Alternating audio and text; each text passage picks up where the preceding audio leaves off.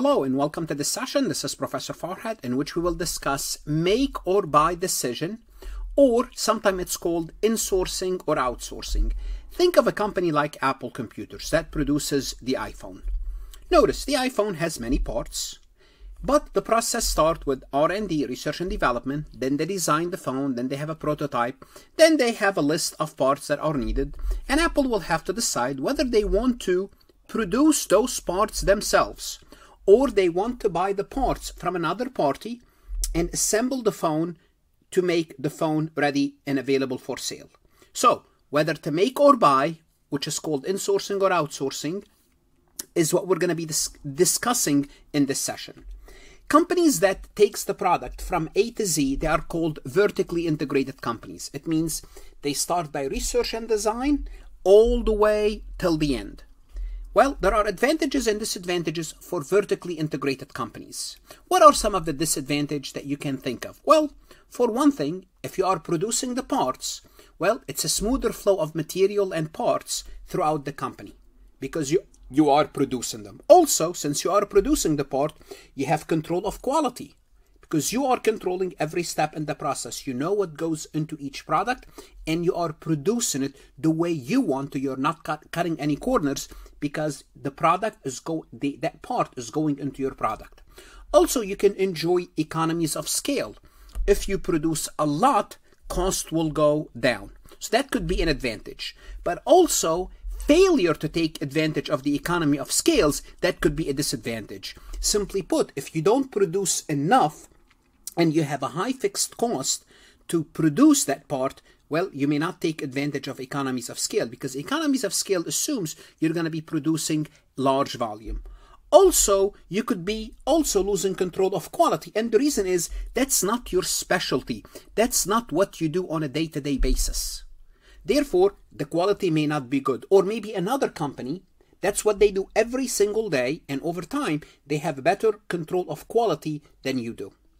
Also, another advantage of producing or having vertically integrated is if you are producing enough, you might be able to sell to outsider and also make profit at, for the parts. So simply put, you produce it for yourself, for your own product, and you can sell it to an outsider and make a profit on the part itself. But one of the disadvantages, if you don't produce it yourself, is disruption in supply chain. And this happens if you have wars, or especially what happened with COVID, where companies were relying on on suppliers and suddenly they could not rely on suppliers. Or sometime the parts that you need are located in areas where they're affected by COVID or wars, and you cannot get the product, you cannot get the product to produce it. Therefore, you have a disruption in your own supply chain. So disruption could be on both ends. You could be producing it and having problem, or you could be relying on a third party and having problem as well. Now, the best way to illustrate make or buy decision is to actually look at a at an example with numbers. Now, before we look at numbers, I would like to remind you whether you are a student or a CPA candidate, and this is mostly most likely who you are if you are watching this. Go a step further, farhatlectures.com, where I have additional resources to accompany your CPA review course or your accounting courses. My product can help you do better in your class or on your CPA exam. If you have not connected with me on LinkedIn, please do so. Take a look at my LinkedIn recommendation. Like this recording. If you're watching, like it. It. If it's helping you, it will help others. Like it. It will help me as well. Connect with me on Instagram, Facebook, Twitter, and Reddit. So for the purpose of our example, we're going to be producing, or Apple will need to decide whether they need to, produ- to, to produce the battery for their iPhone or if they are going to buy it from an outsider. So this is the cost that they need, and let's go over the cost for Apple to produce the battery themselves, basically to make the product. Direct material $30, direct labor $50, variable overhead $10, depreciation of production for the equipment $30, supervisor salary $20, general factory overhead $100. So right now, it's costing Apple $300 to produce the battery that goes into the iPhone. Now, bear in mind that you the if they discontinue this, if they if they outsource this process, they cannot get rid of the production of the equipment. There is no resale value. It's so specialized.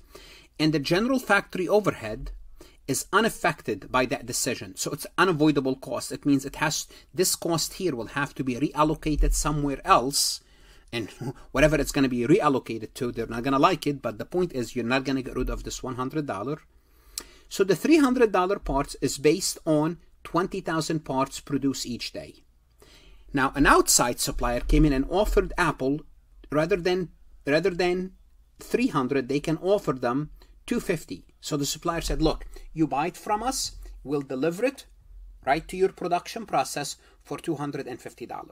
The question is, should we buy the product or should we keep on producing the product? Well, what do, how do we solve this problem? Well, we're going to have to make that decision, make or buy. And we're going to have two columns. One is buy and one is make. And the buy is easy. The order from the outsider is 250 times 20,000 unit. So we need $5 million per day if we want to buy it from an outsider and not worry about it. What happens if we make it? Now we have to decide what cost we can avoid if we make it. What cost we can avoid? Well, here's what we can avoid. We can avoid direct material, 20,000 20, for 20,000 unit at $90, 1.8 million. We can avoid direct labor. We don't have to hire those people to make to work on this production process. 50,000 $50 times 20,000 unit is a million dollar variable overhead. $10 times 20,000 unit. We cannot get rid of the depreciation of the equipment because this is basically a sunk cost. We still have to depreciate the equipment because we cannot sell it. So we have to keep it. Salary supervisor salary we can get rid of that $20 per unit on average times 20,000 unit, 400,000, we can get rid of this. So all these costs, the 1.8 million, 1 million, 200,000, 400,000, those are avoidable costs, costs that we can get rid of if we, if we, if we buy the product. The general factory overhead, I told you, it is not, it is uh, not, not 10, it's $100 it doesn't matter. 100 or 1000 or 10 we can get rid of this because we have to reallocate this somewhere else. So if we make the product versus if we buy the product if we buy it's easy. It's 5 million. If we don't make it okay there are some avoidable costs that we cannot get rid of. So it's basically costing us really 3.4 million the true cost that we can avoid. So if we don't make it we are getting rid of only because the point is if we can reduce our cost so if we don't make it if we don't make it it will cost us 5 million. If we make it it's costing us 3.4 million. So we're better off making it rather than not making it because the true cost is 3.4 the other which is the difference is 2.6 million. The 2.6 million is the depreciation of the equipment 30 uh, $30 times 20,000 units, 600,000. And the general factory overhead, which is $100 per unit times 20,000 equal to 2 million. So those two together is the 2.6 million. That is unavoidable cost. We can't get rid of it. Therefore, the, the true cost for us is 3.4, not 5 million, uh, not, not 5 million, which is that's what they are, that's what they're offering. But let's assume we could have avoided uh, 5.2 million dollars in cost if we make it if we can avoid this much. Then if we can avoid this much from a numerical perspective we will accept the buy because it's cheaper assuming we can avoid that much cost. So the decision rule is if you can avoid the cost greater than buying it you will avoid the cost and buy it. Now bear in mind we have qualitative issues that we have to deal with. For example the iphone battery could be the favorite part that the employee produces. So if, if you get rid of it employee morale might go down uh, customer perception. If customer knows that Apple is not making their own battery, they may perceive the product as inferior. You could have vendor issues. If you buy it from an outsider, again, you have the supply chain issue, the quality issue, and you could have other issues as well. What should you do now, should you do now to practice make or buy? Go to Farhat lectures and work MCQs, true false exercises that's going to help you understand this concept better and get you ready whether you are taking an accounting course or studying for your CPA or CMA exam. Good luck, study hard, and of course, stay safe and invest in your education.